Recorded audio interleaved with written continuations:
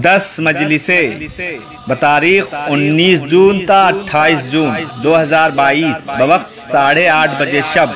ब बमुकाम मजाखान शब्बीर और सफदर मरहूम, पुरानी अदालत, दाल मंडी, वाराणसी। 19 जून को खिताब फरमाएँगे आली जनाब मौलाना सैयद अहमद अली आबदी साहब किबला। 20 जून को खिताब फरमाएँगे मौलाना सैयद मुजीबुल हसन साहब किबला। 21 जून को खिताब फरमाएँगे। आली जनाब मौलाना सैयद अली सरकार शम्स साहब किबला।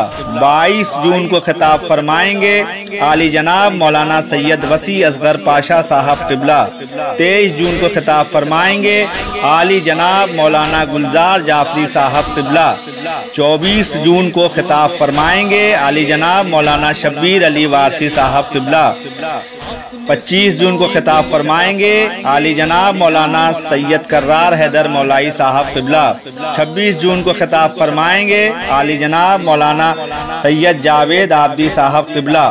27 जून को खिताब फरमाएँगे। आली जनाब मौलाना सैयद कमर सुल्तान साहब किबला। 28 जून को खिताब फरमाएँगे। आली जनाब मौलाना गजनफर अब्बास तूसी साहब किबला।